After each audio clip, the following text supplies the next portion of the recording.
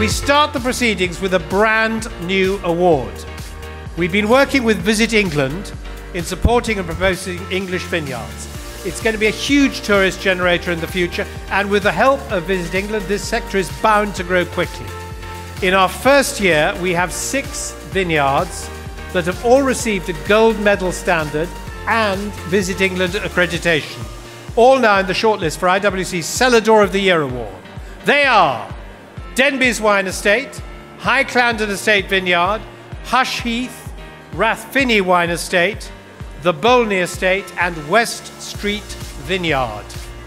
And the winner of this inaugural award is High Estate Vineyard.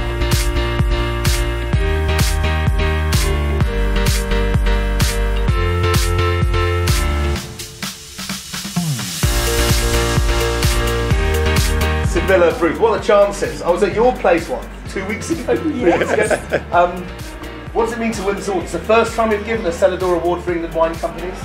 It's absolutely thrilling. I can't believe it. Thank you, everybody. It's fantastic. Particularly because we are so tiny compared to all the other gold medalists, and it's just fantastic having our wine on the on the uh, international market having established our industry with the Cool Climate Symposium last year, and now we, are focusing more on the customer experience. So fantastic. It's tiny, but it's totally formed. I've seen it. Yeah, thank you. Thank you. Thank you. Cheers. Bye. Bye.